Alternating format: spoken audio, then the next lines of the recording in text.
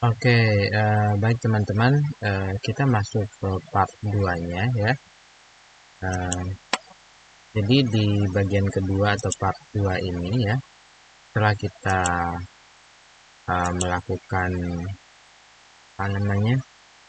Setelah kita melakukan tracing dengan menggunakan pen tool, nah saatnya sekarang kita uh, akan melakukan uh, langkah berikutnya ya. Jadi langkah berikutnya ini kita akan memanfaatkan tools uh, mesh tool ini ya. Jadi di sini kita bisa menemukan mesh tool ya. Nah nah mesh tool ini uh, akan kita gunakan untuk membuat pola. Ya, seperti itu ya teman-teman ya. Kita akan membuat pola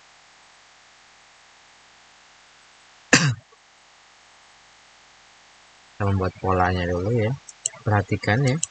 Diperhatikan kita bermain di layer 2 ya. Nah kita membuat pola dulu ya. Polanya itu kita bisa temukan di di sini di gradient. Nah kalau misalnya tidak muncul bisa kita klik kanan dari sini ya. Kemudian pilih mesh tool. Selanjutnya ya. Nah perhatikan ya. Ini masih tanda stop. Jadi eh, arahkan kursor sampai ke apa outline ini ya outline yang warna merah ini. Tapi tergantung teman-teman awalnya ngasih warna apa. Nah kemudian di sini ya eh, kita bentuk polanya. Jadi kalau ada kalau udah muncul tanda plus seperti ini bisa diklik ya. Satu. Nah. Oke. Bentar hmm, kita geser dulu ya. Ini bisa kita geser dulu. Nah, pola yang ini bisa kita geser dulu. Artinya kan memang uh, kita hanya meminjam saja. Kita mengambil pola ini uh, apa uh, pisang ini sebagai pola awalnya gitu ya. Untuk uh, apa menduplikasi uh, polanya gitu ya. nah selanjutnya kita coba lagi. ya ini kita off ya. Ini kita coba off ya. Nah yang ini kita coba kasih warna dengan warna kuning. Oke. Hasilnya seperti ini. Tinggal nanti kita coba bermain dengan gradasinya ya di sini ya. Ini kan ada garis ya kan ya. Nah kita coba membuatnya dengan menggunakan mesh tool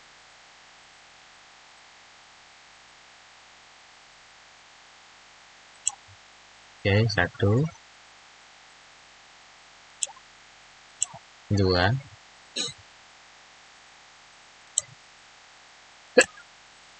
sorry,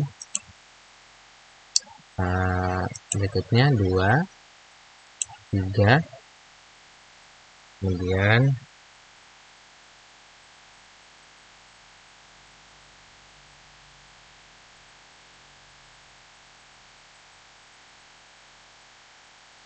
Oke.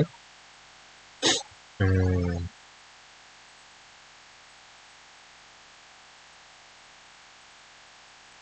Empat. Ah.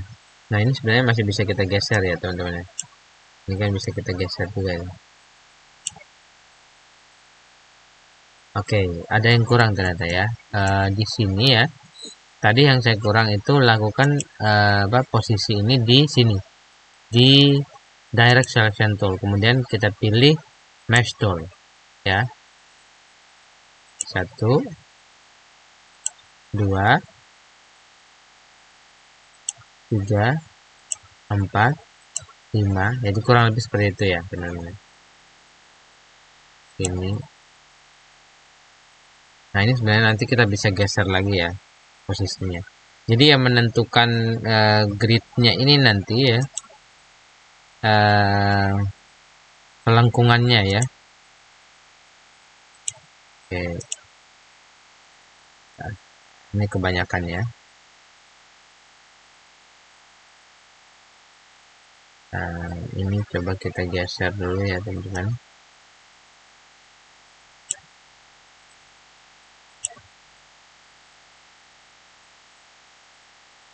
Lanjutkan lagi seandainya ada yang tidak perlu jadi bisa kita revisi lagi. Yang bagian sini ini kan kita bisa revisi dulu ya. Ini kita kembalikan ke posisi uh, gradient ya di awal ya. Ini posisi yang ini dulu. Posisi ini ini kan bisa kita delete ya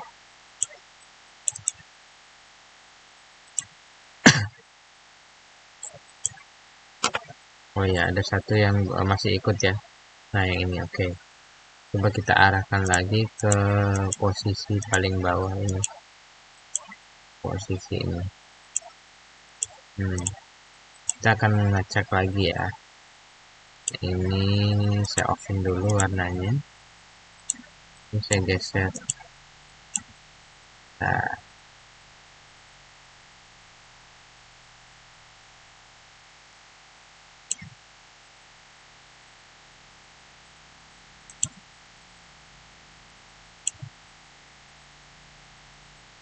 Nah, kita pinjam dulu garisnya.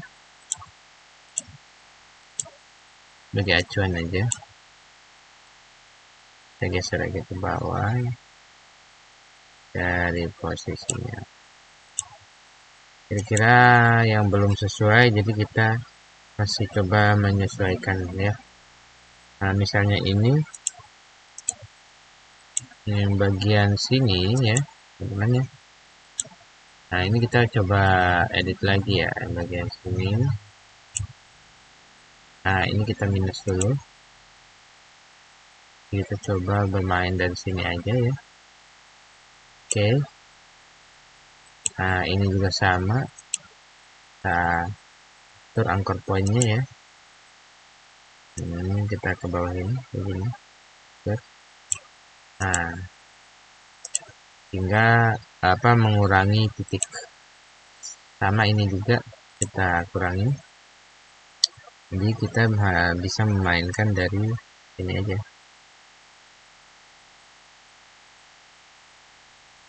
Oke jadi intinya sih masih bisa kita edit kembali. Yang ini juga termasuk ya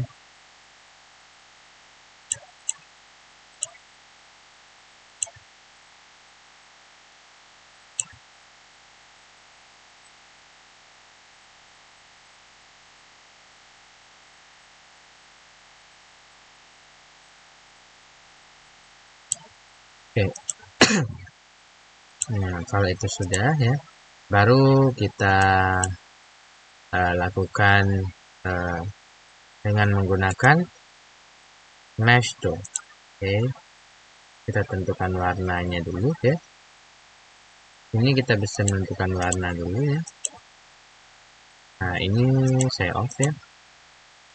Nah, ini saya ganti dengan warna kuning atau kita bisa meminjam oh ya kita pakai warna kuning aja ini ya.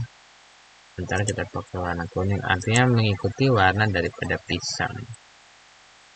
Nah sekarang kita coba bermain dengan mesh tool lakukan di direct selection coba dulu ya.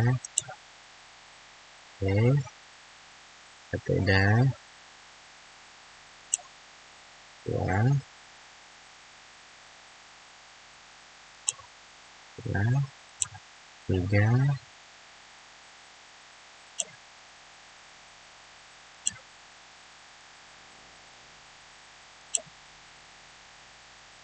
apa-apa sekalian yang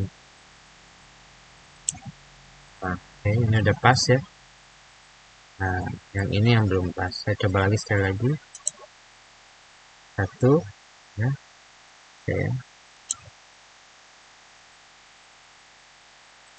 Tuh.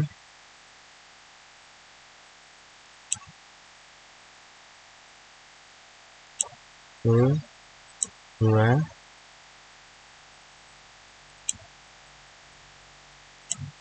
Tiga. Empat. Lima. Enam.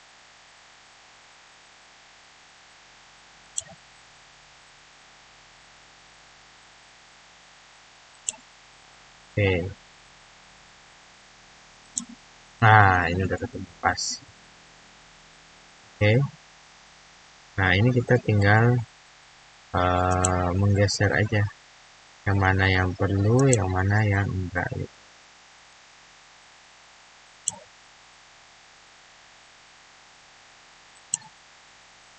nah ini tengah juga sama ya.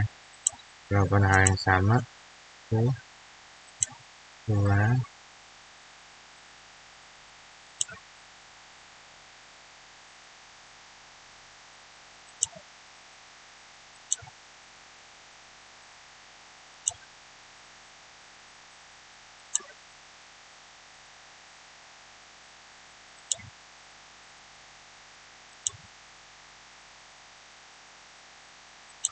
nah udah ketemu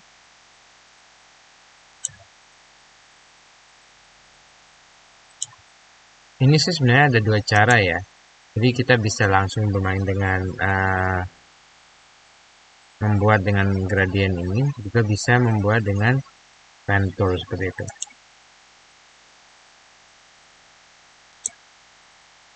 Oke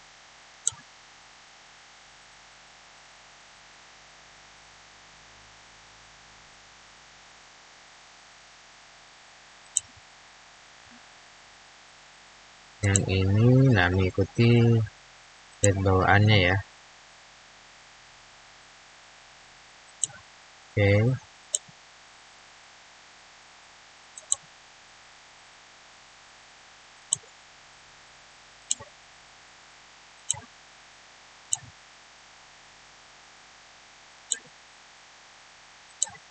Kurang lebih seperti ini ya teman-teman.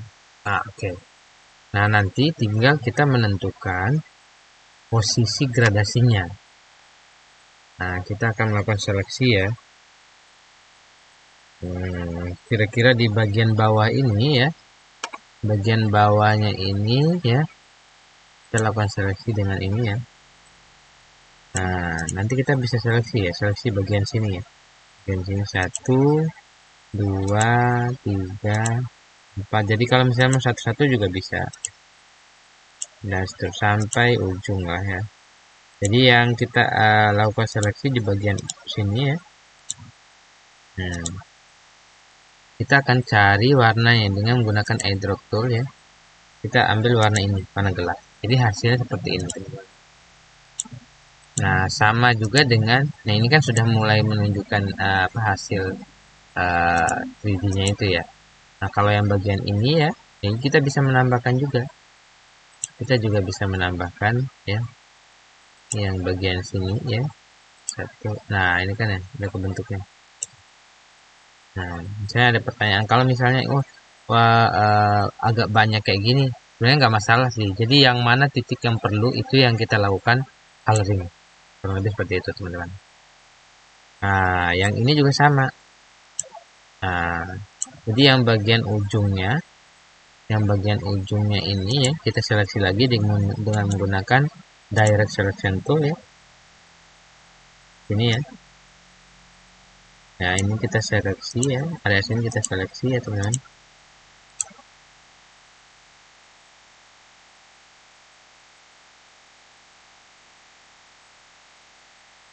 Nah sekarang kita seleksi dulu nih pakai lagi ini ya jangan lupa the direct selection tool ya.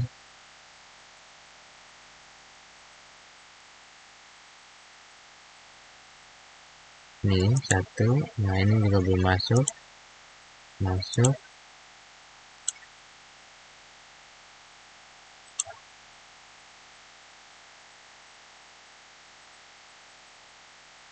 hmm.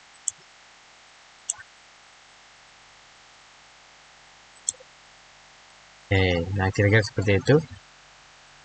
Nanti uh, bisa diperbaiki lagi. Yang penting konsepnya sih uh, kita uh, paham dulu aja ya. Nah ini kita pakai lagi airdrop tool atau i ya. Ambil bagian sini untuk uh, apa? Mengambil referensi warna.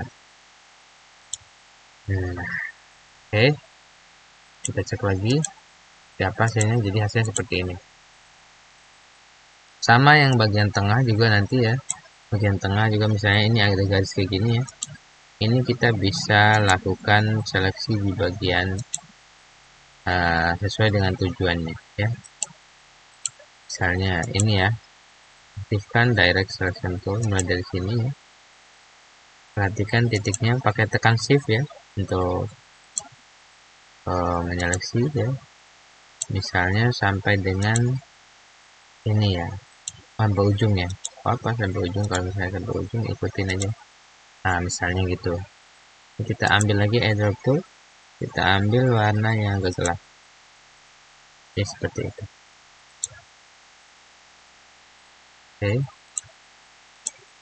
Nah. Gitu ya.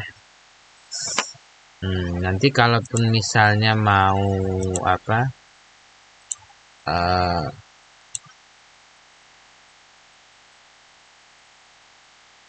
Nah, ini kan tadi kan awalnya ini ya.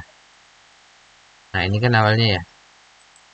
Nah, gradient ini bisa kita kembali ke sini. Jadi, outline-nya bisa kita pakai yang warna hitam. Misalnya ya. Nah, tapi ini nggak masuk, nggak apa-apa. Ini kan saya off ya. Saya coba klik lagi apakah uh, bisa mengikuti warna dasarnya. Coba kalau misalnya nggak bisa ya berarti langkah yang kita uh, pakai ini ya untuk outline-nya ya uh, memang dikosongkan gitu. Intinya mengikuti uh, outline yang uh, bawaan. Nah, maksudnya outline dari uh, konsep pisangnya sendiri gitu ya. Hmm, oke okay. kita coba lagi ya. Yang ini apakah bisa diganti okay. oh hilang deh ya. Hmm. oh nggak bisa teman-teman ini kurang lebih seperti ini ya. Jadi nanti untuk bagian atasnya ini ya ini kan tinggal yang bagian sini ya. Satu ya ini kan kita bisa seleksi lagi. Nah